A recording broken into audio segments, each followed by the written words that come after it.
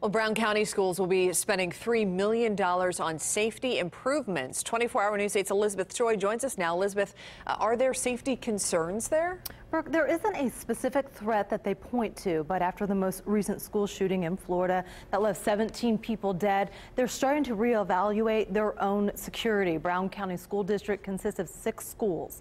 Four of them have buzz-in entry systems. The improvements will upgrade those and also add safer entry systems to the other two schools. Bollards or metal posts surround the in intermediate school. They protect against cars driving into the building, for example. Eventually, all the schools will have them. They're also adding glass sheeting over windows and doors to make them bullet resistant.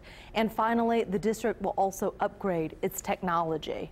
We are learning about a method to align our intercom, our phone, and our computer systems. We want one common access so that anyone could perhaps call a lockdown. At this point, we've got situations where a lockdown can only be called from several locations in a building.